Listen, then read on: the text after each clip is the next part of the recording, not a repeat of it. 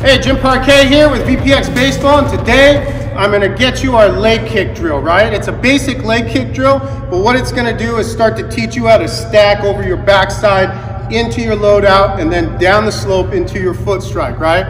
Got our harness on. What this does is basically you got an energy breakdown, premature hip rotations, top heavy, um, kinetic chain becomes unconnected, this is gonna pull your back heel off the ground and get you the sensory feedback you need to know that something's going wrong. As long as you don't feel the bungees, then you know that you are staying loaded and connected and stacked into release point, right? So this one here, we're just gonna start here, make sure that we stay stacked over backside. We don't come set right here because you shouldn't come set balanced.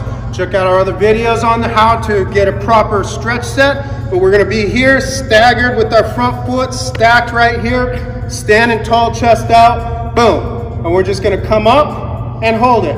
And then we're gonna go.